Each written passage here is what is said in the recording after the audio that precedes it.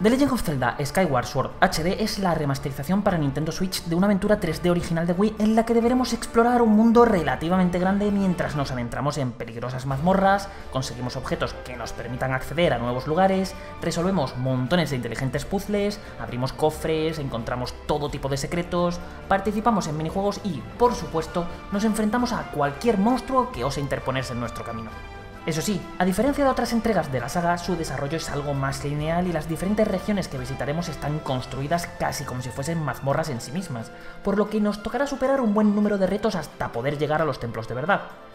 Lo mejor es que todos los mapas del juego tienen un diseño magistral, por lo que avanzar por sus diferentes localizaciones y calabozos es un reto de lo más estimulante y satisfactorio, además de variado. Estamos hablando de una aventura mayúscula que sabe sorprendernos a cada paso y en la que cada elemento del escenario está colocado por un motivo, de modo que no hay nada dejado al azar. Quizá podríamos pedirle un número mayor de regiones y menos reciclaje de las ya existentes y de cierto jefe, pero siempre sabe cómo apañárselas para aportar algo nuevo y diferente que impida que nos aburramos o que nos acomodemos. Algo que hay que tener muy en cuenta es que el título fue diseñado de principio a fin con los controles por movimientos en mente, ofreciéndonos un sistema de combate en el que debemos mover el mando como si fuese una espada para que Link realice diferentes tipos de tajos, estocadas y técnicas especiales, algo importantísimo durante los enfrentamientos, pues la mayoría de los enemigos nos requerirán que golpeemos de una manera muy concreta para aprovechar los huecos que dejan y explotar sus puntos débiles. A pesar de algunas imprecisiones en su manejo, esto nos dejó unas batallas muy únicas y divertidas que supieron sacarle todo el provecho al Wii Motion Plus,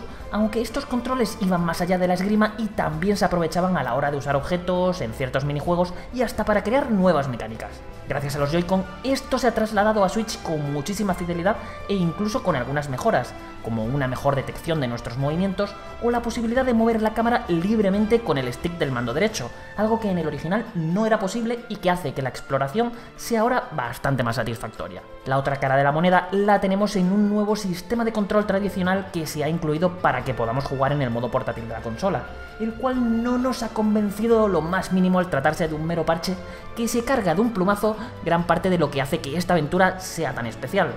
Su funcionamiento es bastante sencillo, ya que la solución por la que se ha apostado es la de hacer que controlemos la dirección de los tajos con el stick derecho, aunque en la práctica no funciona tan bien como debería, obligando a pulsar y mantener L para poder usar la cámara libre y dificultando la realización de ciertas acciones básicas como las esquivas, al tener que desplazar bastante el dedo de la palanca hasta el botón correspondiente. Evidentemente el juego es perfectamente jugable así y al final es cuestión de acostumbrarse, pero por más que hemos intentado jugar de esta manera nunca nos ha terminado de calar, convirtiendo todas las acciones que en el original requerían que moviésemos el mando en algo engorroso, nada satisfactorio y sin gracia alguna, lo que acaba pasándole mucha factura.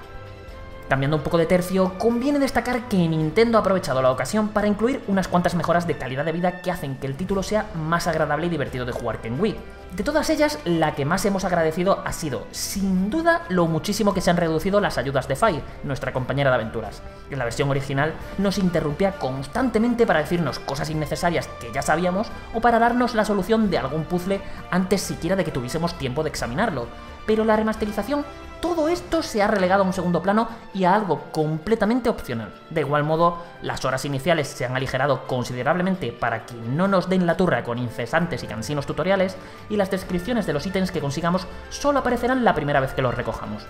También se ha añadido la opción de acelerar los diálogos y las secuencias de vídeo pueden omitirse en el caso de que queramos hacerlo. A nivel gráfico, la remasterización se ha limitado únicamente a aumentar la resolución del juego para que podamos disfrutar, por fin, de esta aventura en alta definición y en todo su esplendor. Sí, el trabajo que se ha realizado aquí es un tanto vago y podríamos haberle pedido mejoras en los modelados, en las texturas y en ciertos efectos, pero si comparamos el resultado final con la versión original de Wii, la diferencia es gigantesca, ya que lo que antes eran poco más que borrones y dientes de sierra que nos impedían apreciar como se merece la maravillosa dirección artística que tiene detrás, ahora luce con una nitidez envidiable tanto en portátil como en sobremesa.